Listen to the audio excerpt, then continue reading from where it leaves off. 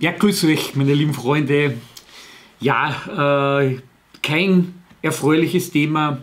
Äh, der Nord Stream 2 Anschlag und Russlands Rache wird vermutlich fatal werden. Äh, es soll jetzt kein Angstvideo sein, einfach nur, ich will einfach einmal aufgreifen, was sich gerade jetzt in der Welt abspielt und nicht nur, was immer in den Mainstream-Medien berichtet, wo wir eh sowieso immer nur dasselbe hören, wer immer schuld ist. Natürlich, es gibt immer dann aus der Sicht vom Mainstream immer nur diesen einen Schuldigen, aber wir hinterleuchten das jetzt wieder aus der alternativen Szene. Äh, welche Journalisten habe ich jetzt hier? Also ich nehme nicht äh, jetzt ein paar heraus, äh, wo ich sage, okay, die haben einmal eine andere Sichtweise dazu und die werde ich euch dann im Laufe äh, des Videos dann hineinschneiden. Zunächst einmal also meine persönliche Einschätzung und zwar, was da gerade passiert ist mit dieser angeblichen Sabotage.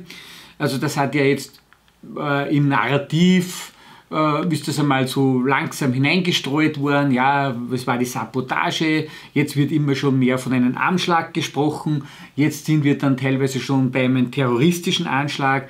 Also ja, äh, das Narrativ fängt sich jetzt schon an zu verändern, äh, aber auch die Kriegstrommel wird jetzt immer lauter und jetzt natürlich ähm, bekommt das Ganze eine ganz eine neue Qualität. Und wir wissen also aus der Vergangenheit schon her, äh, immer wenn dann ein, ein Krieg oder eine Kriegsvorbereitung im Gange ist, vorbereitet wird sie ja immer von den Medien, damit einmal die ganze Bevölkerung, alle aufgehetzt werden. Es müssen immer zwei Parteien äh, kreiert werden, der Gute und der Böse.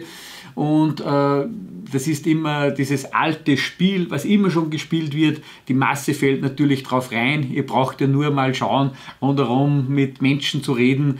Äh, zum einen einmal sowieso gleich immer die Voreingenommenheit, ja, der böse Russe äh, war sowieso schuld, der war schon immer für alles schuld. Äh, und abgesehen davon, jetzt auch wenn es gewesen wäre, ich meine, allein dieses kranke Mitmachen äh, bei einer ähm, ja, der ist schuld oder der ist schuld oder gewisse Länder immer dieses, dieses noch immer, dieses alte Denken, dass das immer mit verschiedenen Ländern zu tun haben, die sich dann miteinander bekriegen, ja, da fehlt es schon einmal sehr weit, weil da habe ich schon die letzten Jahre sowieso geschlafen, weil es geht nicht um Ländern, sondern es geht um wirtschaftliche Interessen. Äh, Leute, die sehr mächtig im Hintergrund die Fäden ziehen und da ist es scheißegal, in welchem Land die äh, zu Hause sind, äh, sondern es ist einfach eine Gruppe aus verschiedenen Ländern, ja, die einfach Einfluss nehmen, die einfach eine neue Welt herbeiführen wollen, das heißt Zerstörung der alten Welt.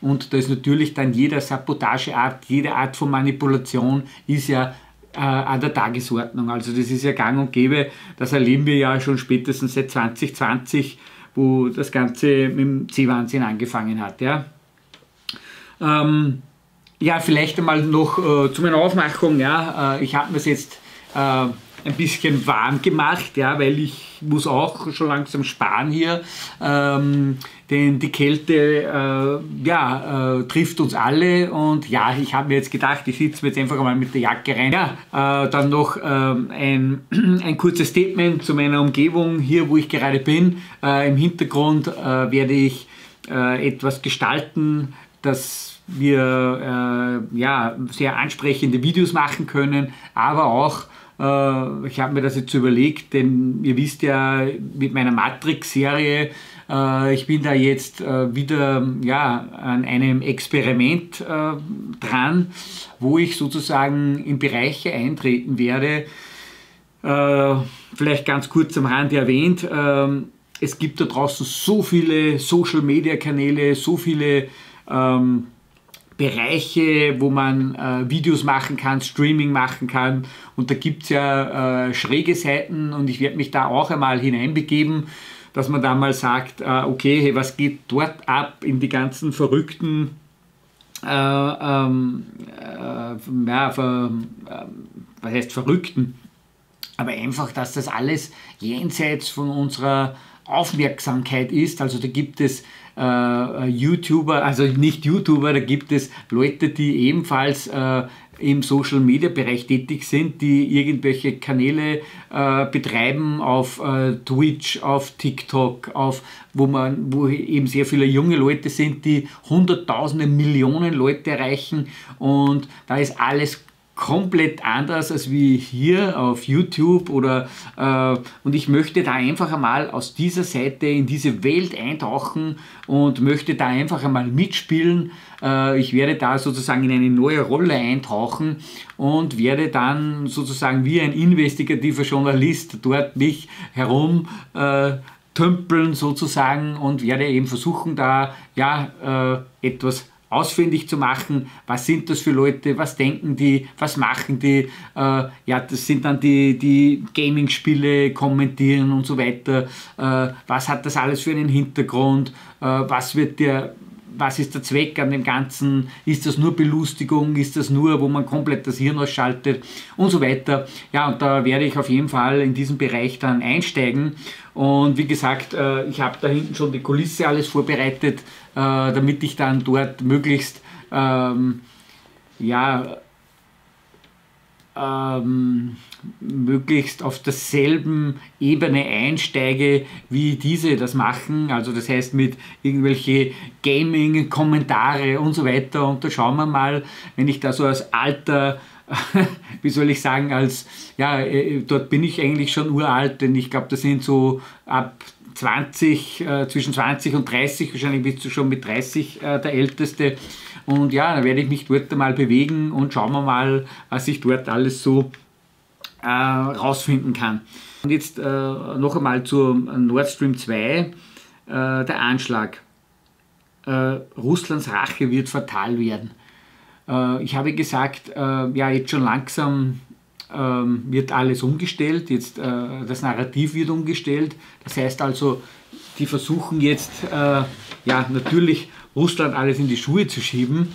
Ähm, war natürlich eh klar, aber so gestrickt, obwohl es natürlich schon Meldungen ge ge gegeben hat, schon im Februar vom, vom äh, Joe Biden, äh, kann ich auch vielleicht einmal kurz einblenden. Wenn Russland die Ukraine angreift, bedeutet dies laut US-Präsident Joe Biden das Ende der Ostsee-Gaspipeline Nord Stream 2. Uh, Wenn Russland einmarschiert, das heißt Panzer oder Truppen wieder die Grenze zur Ukraine überqueren, dann wird es kein Nord Stream 2 mehr uh, geben. Wir werden dem ein Ende setzen. Ja, und da war natürlich damals schon klar, äh, ja, die werden da ein bisschen härter durchgreifen. Und was bedeutet das? Das ist eigentlich der Beginn, wo sich Amerika mit Russland in einen Krieg vielleicht äh, begeben wird. Und es schaut wirklich so aus, alles äh, läuft in diese Richtung hin. Und ja, schauen wir mal hinein. Ich möchte mal schauen. Ähm, da, da, hat zum Beispiel der von Translated Press, der, ha der Hardy, er hat da auch darüber berichtet. Bemerkenswert ist allerdings, dass die deutschen Medien alle mit dem Finger auf Putin zeigen. Die Frage ist also, wie konnte das passieren? Und es stellt sich heraus, dass es kein Unfall war.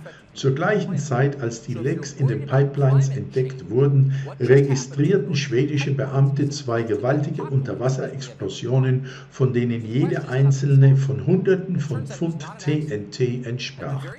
Heute haben wir es mit einem Sabotageakt zu tun bekommen. Wir kennen die Details noch nicht, aber wir können klar erkennen, dass es ein Sabotageakt ist, der wahrscheinlich die nächste Stufe der Eskalation, mit der wir es in der Ukraine zu tun haben, auslösen wird. Wladimir Putin mag böse sein, Sie sagen uns, dass er böse ist, aber ist er auch dumm? Wahrscheinlich ist er nicht dumm. Und doch, und das ist das Seltsame, wenn Sie Wladimir Putin wären, müsste man ein selbstmörderischer Idiot sein, um seine eigenen Energiepipelines in die Luft zu jagen. Wenn Russland einmarschiert, bedeutet das, dass Panzer oder Truppen wieder die Grenze zur Ukraine überschreiten. Dann wird es auch kein Nord Stream mehr geben. Wir werden dem ein Ende machen. Wie wollen Sie das genau machen? Das Projekt steht ja unter deutscher Kontrolle. Ich verspreche Ihnen, dass wir das schaffen werden. Es ist schwer, sich so eine unvorstellbare, rücksichtslose Tat vorzustellen. So etwas würde man tun, wenn man einen Atomkrieg anzetteln wollte. Es wäre wahnsinnig und doch im Nachhinein ist es offensichtlich, dass sie darüber nachgedacht haben, denn Joe Biden war nicht die einzige Person, die dies vorschlug. Und ich möchte Ihnen klar sagen, wenn Russland in die Ukraine einmarschiert, wird Nord Stream 2 so oder so nicht vorankommen. Auf die eine oder andere Weise wird Nord Stream gestoppt. Sie bereiten sich nur auf die unvermeidlichen Folgen vor. Heute Abend hat der Senat ein Haushaltsgesetz verabschiedet mit 35 Millionen für das Energieministerium, um, Zitat, sich auf mögliche nukleare und radiologische Zwischenfälle in der Ukraine vorzubereiten. Ja, das waren jetzt alles äh, Zusammenschnitte. Äh, das ganze Video wird eh unten eingeblendet. Das heißt also, hier wird schon mal spekuliert. Natürlich wird dann schon wieder gesagt, ja, das war Fox News. Äh, Fox News, das sind die, die ja damals äh, alles immer pro Trump waren und das sind ja die Rechten und Republikaner und das zählt ja nicht. Ja, aber es ist trotzdem wichtig, dass man sich aus dieser Seite das anhört, denn äh, wir sehen äh, auch der, der Hade versucht immer wieder sehr neutral, sehr äh, egal, ob das jetzt von den Demokraten ist oder von den Republikanern, immer sehr neutral zu berichten. Das heißt also, wir brauchen da nicht schon wieder so sagen, nein, das ist schon wieder nur so eine Richtung. Stimmt nicht. Und natürlich, äh, was haben wir dann noch weiter? Der Tim Kellner hat auch äh, ein Video dazu gemacht, er schreibt Nord Stream Pipelines gesprengt, ja. Äh, was sagt der Tim Kellner dazu? Das ist besser formuliert. Schauen wir mal, wo ich das, wo wir den Bereich haben. Ich glaube auch der Tim Kellner hat das eingespielt, äh, diese Meldung, ja, vom, also äh, Tim Kellner hat ja schon wieder das so hergenommen äh, auf diese Satire, ja, ähm,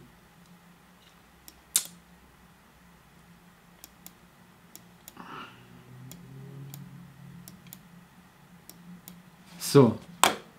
Okay, spielen wir mal ein. Hinweis auf gezielte Pipeline-Zerstörung werden dichter. Nein!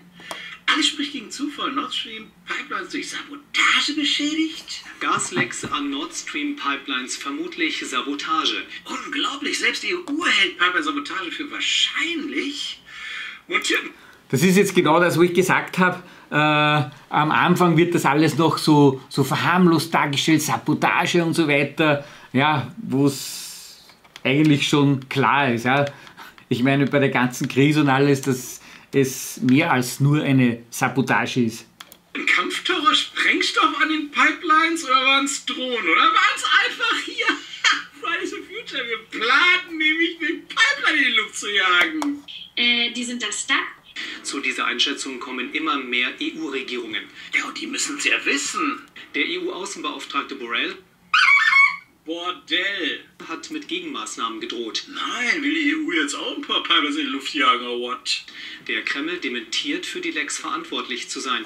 Das ist eine prorussische Desinformationskampagne. Messstationen hatten Explosionen registriert. Deshalb wollen wir jetzt mal einen Experten hören. Wer hätte denn aus Ihrer Sicht ein Interesse daran, den Betrieb einer Pipeline zu stören? Das können wir nur Idioten fragen für meine Begriffe. Ein Interesse daran hätte in der gegenwärtigen Situation ähm, eigentlich nur Russland selber. Also das ist so, so das Beste überhaupt. Die fragt vorher schon, obwohl, sie ja, obwohl es schon ganz klar ist und das ist die wissen das sowieso, sobald das im ARD oder ZDF äh, ausgestrahlt wird, äh, abgesehen davon, dass ja äh, die ja amerikanisch sind. Also für alle, die das immer noch nicht am Schirm haben, dass äh, ja Deutschland und wir Österreich sowieso äh, sehr, äh, sagen wir mal so, die Anweisung, spätestens seit Udolf Kotte müsste das jeder wissen, dass wir immer pro-amerikanisch berichten müssen. Ja, müssen. Ähm, Und äh, das ist natürlich dann schon einmal klar, dass die Frage, man muss sich das noch einmal, ich muss noch mal zurückgehen, alleine schon sie weiß es ja schon längst und stellt aber trotzdem manipulativ die Frage. Das heißt, wir sind hier, hier erleben wir absolut, hier, schaut sie mal genau an, okay, ich, äh, dass man das aus der psychologischen Sicht einmal sieht. Diese psychologische Frage, sie weiß es schon, stellt aber trotzdem die Frage, damit er dann genau das Richtige zu antworten hat. Ja? Wer hätte denn aus Ihrer Sicht ein Interesse daran, den Betrieb einer Pipeline zu stören? Hätte denn Interesse daran?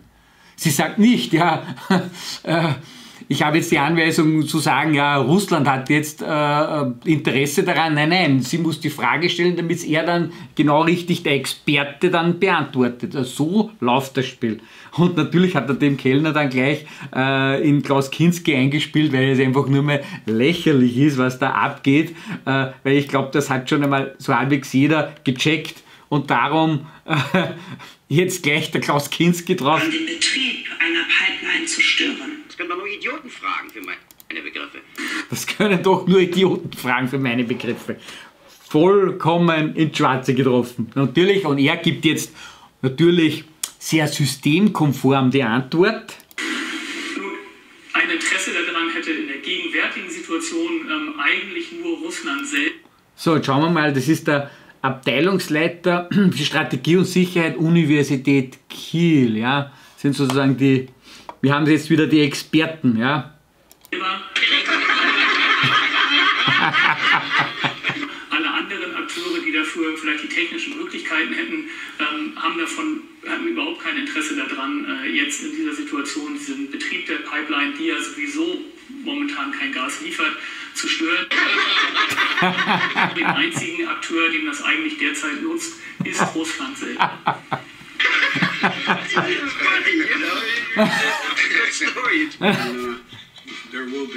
ja, und jetzt kommt das nämlich, äh, was wahrscheinlich auch nicht viele am Schirm haben, aber die Meldung, das war im kurz, ich glaube 14 Tage im Februar, glaube ich, bevor der Krieg ausgebrochen ist, also 14 Tage vor Kriegsausbruch in der Ukraine.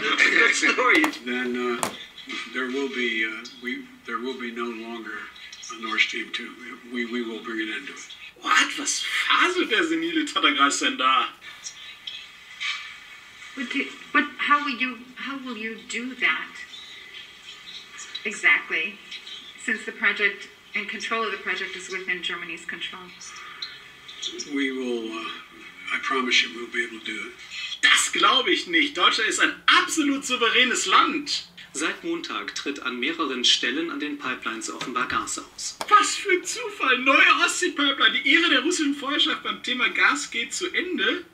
Thank you, USA, sagt da so ein polnischer Europaabgeordneter. Und ein polnischer Traum, Pole öffnet Gasland Baltic Pipe nach Norwegen. Just an dem Tag Zufälle gibt's. Öltanker mit Putins Set auf Ostsee gesichtet. Versenken, da kommt doch diese US Navy Flottenverband, der Fährmannbell da rumschippert, gerade recht. Ja, ein absoluter Zufall, dass die gerade dort unterwegs waren. Das war übrigens eben richtig gegendert. Das muss nämlich nicht immer dieser Flottenverband heißen, es kann nämlich auch dieser heißen. Prorussische Behörden melden Siege bei sogenannten Referenten. Das ist ja wie bei der Bundestagswahl mit Zungenmunkel, aber hey, das muss rückgängig gemacht werden. Ja, das war jetzt äh, ein kurzer Einspieler vom Tim Kellner, wie gesagt, unten auch verlinkt. Schaut euch das Ganze an. Ähm, und dann haben wir jetzt den Darius. Schauen wir mal, was er sagt dazu. Äh, der hat auch über 174.000 Abonnenten. Äh, jetzt hat er da schon 127.000 äh, Aufrufe. Ähm, der Wahnsinn, ja. und er hat das jetzt mit Nord Stream 2, die ja dauerhaft jetzt zerstört worden ist, ganz kurz ein Statement dazu abgegeben. Und es ist echt ein Hammer, ja. Ich möchte euch das kurz vorlesen. Nord Stream Leitung wohl irreparabel beschädigt. Nach wie vor strömt aus den drei beschädigten Pipeline-Strängen in der Ostsee Erdgas mit unveränderter Kraft aus. Und es könnte gut sein, dass die Nord Stream-Leitungen für immer unbrauchbar werden, denn je mehr Salzwasser in sie hineindringt, desto größer ist die Gefahr von Korrosion. während die EU nach wie vor keinen Verdächtigen offiziell benennt, mutmaßen deutsche Sicherheitsbehörden, dass Kampftaucher Sprengsätze angebracht haben und diese dann detoniert seien. Was hier passiert ist, ist das eine, nämlich Nord Stream 2 Leitung sowie Nord Stream 1, bei der eine einen Wert von 8 Milliarden Dollar hat im Bau, dass die komplett zerstört würde, ohne die Kosten des Gases, das integriert war. Wir sprechen hier von einem Milliardenschaden. Das heißt, wenn wir davon ausgehen, dass ein Schaden von 1,6 Milliarden plus dem Gas, das da drin ist, dass das zerstört wurde, dann wurde uns hier mit einem Milliardenbetrag geschadet. Mit einem Milliardenbetrag in einem terroristischen Akt. Wenn wir uns jetzt überlegen, was passiert, dann wird jetzt als erstes geguckt werden, kann man rausfinden, wer das war. Wenn das war. Und dann hoffe ich, dass man so weit von dem Aggressor weg ist wie möglich, wird es einen starken Vergeltungsschlag geben. Das ist das Erste. Ja, also wieder dauerhafte Beschädigung, Wahnsinn, ja, wenn man sagt, äh, um wie viel Geld das es da geht. Und er hat es, glaube ich, eh erwähnt. Also die Russen werden ja nicht selbst sich äh, einen Milliardenschaden zufügen. Ich meine, wie bescheuert ist das, okay? Äh, dass sozusagen jetzt mischen sich Länder ein, wir sehen, wie aggressiv die Medien berichten, weil die Medien sind nicht versöhnlich. Wir erleben gerade absolut jetzt, äh, äh, die Mainstream-Medien sind die absoluten, ich will es jetzt gar nicht sagen, weil ihr wisst, Zensur und so weiter, aber ja, die sind uns alles andere als wohlgesonnen. Ja, und den nächsten, was ich euch jetzt äh, noch hineinschneiden möchte, ist äh, äh der Außenminister, der russische Außenminister äh, Lavrov. Lavrov, weiß jetzt nicht, wie man ausspricht, auf jeden Fall äh, werde ich äh, euch den jetzt einspielen.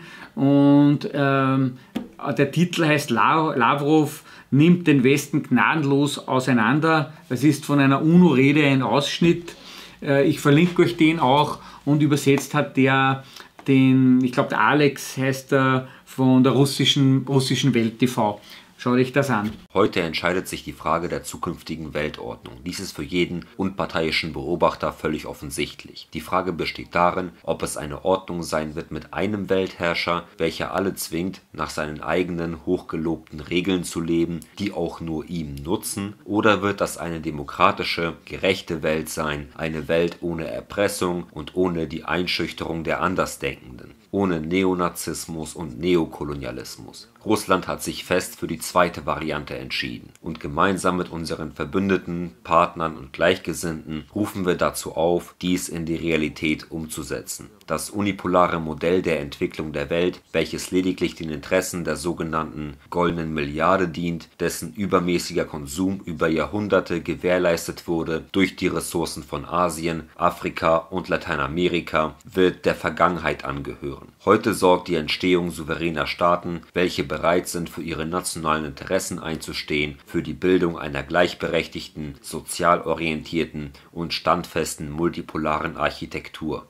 Allerdings werden die objektiven geopolitischen Prozesse von Washington und den von ihm vollständig unterworfenen herrschenden Elite der westlichen Länder als Bedrohung ihrer Dominanz wahrgenommen die auf offizieller Ebene stattfindende Russophobie hat im Westen beispiellose und groteske Ausmaße angenommen. Dort scheuen sie sich nicht einmal mehr davor zu verkünden, nicht einfach nur unserem Land eine militärische Niederlage zufügen zu wollen, sondern auch Russland zu zerstören und zu zerstückeln. Mit anderen Worten wollen sie erreichen, dass eine zu eigenständige geopolitische Einheit von der politischen Karte der Welt verschwindet. Сейчас Запад закатил истерику из-за проходящих Jetzt hat der Westen eine ganze Hysterie losgetreten wegen der in den Regionen Lugansk, Donetsk, Cherson und Saporosje in der Ukraine stattfindenden Referenden. Jedoch reagieren die dort lebenden Menschen lediglich darauf, was ihnen in einem seiner Interviews im August letzten Jahres das Oberhaupt des Kiewer Regimes geraten hat. Da hat er allen, die sich als Russen fühlen, für das Wohl derer Kinder und Enkelkinder empfohlen, nach Russland zu gehen. Und genau das tun jetzt auch die Bewohner der genannten Regionen, indem sie dabei ihre Länder mitnehmen, auf denen schon über Jahrhunderte ihre Vorfahren gelebt hatten. Für jeden neutralen Beobachter ist es völlig offensichtlich, dass für die Angelsachsen welche sich Europa vollständig unterworfen haben, die Ukraine lediglich Verbrauchsmaterial darstellt im Kampf gegen Russland. Die NATO hat unser Land zur unmittelbaren Bedrohung erklärt, auf dem Weg zur totalen Dominanz der USA. Und als langfristige strategische Herausforderung hat man die Volksrepublik China definiert. Gleichzeitig sendet der kollektive Westen, angeführt von Washington, allen anderen Ländern ohne Ausnahme ein Signal der Drohung, dass jeder, der es wagt, nicht zu hören, der Nächste sein kann. Während die westlichen Kollegen in aggressiver Form ihr Demokratieverständnis allen aufzwingen wollen, als Modell der Organisation des gesellschaftlichen Lebens, lehnen sie diese demokratischen Normen in der internationalen Politik gleichzeitig kategorisch ab. Das jüngste Beispiel ist gerade die Situation rund um die Ukraine. Es scheint doch so. Russland hat detailliert seine Position nahegelegt und diese auch über Jahre hinweg begründet. Und der Westen erklärte, dass er mit unserer Position nicht einverstanden ist. Normalerweise sollten doch die anderen Mitglieder der internationalen Gemeinschaft selbst entscheiden, welche Position sie vertreten wollen. Für die einen oder für die anderen oder eine neutrale Position. So ist das doch eigentlich in einer Demokratie vorgesehen, wo politische Kontrahenten ihre Meinung vertreten und die Bevölkerung von dieser Meinung überzeugen wollen. Doch die USA und ihre Verbündeten erlauben es niemandem, eine freie Wahl zu treffen. Sie bedrohen und erpressen jeden, der es wagt, eigenständig zu denken, und fordern mittels Drohungen, sich den antirussischen Sanktionen anzuschließen. Es gelingt ihnen ziemlich schlecht, aber es ist offensichtlich, dass Handlungen dieser Art seitens der USA und ihrer Satelliten, dass dies keine Demokratie ist, sondern die reinste Diktatur oder zumindest der Versuch, eine solche Diktatur zu etablieren. Ja, meine lieben Freunde, ich hoffe, ich konnte euch da jetzt einmal eine kleine andere Sichtweise äh, äh, zeigen und ja, äh, bitte abonniert den Kanal und aktiviert die Glocke, dass ihr eben am neuesten Stand, wenn wieder ein neues Video rauskommt. Und ja, wir sehen uns dann. Bis bald. Euer Michi. Tschüss und pfiat euch.